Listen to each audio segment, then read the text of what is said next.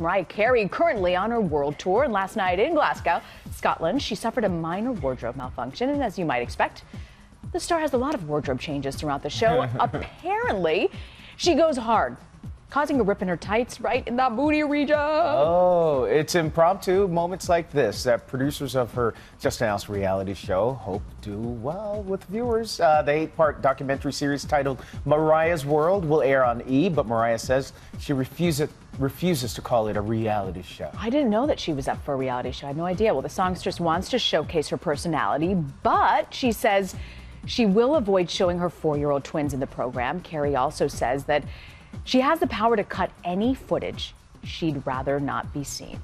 Okay. Including that little wardrobe malfunction. Or maybe the wardrobe malfunction will be in there. That might be interesting. But she says she will avoid showing her four year old twins in the program. Carey also says that she has the power to cut any footage she'd. be, But Mariah says she refuses refuses to call it a reality show. I didn't know that she was up for a reality show. I had no idea. Well, the songstress wants to showcase her personality. But Mariah Carey currently on her world tour, and last night in Glasgow, Scotland, she suffered a minor wardrobe malfunction, and as you might expect, the star has a lot of wardrobe changes throughout the show. Apparently, she goes hard causing a rip in her tights right in that booty region. Oh, it's impromptu moments like this that producers of her just announced reality show hope do well with viewers. Uh, the eight part documentary series titled Mariah's World will air on E!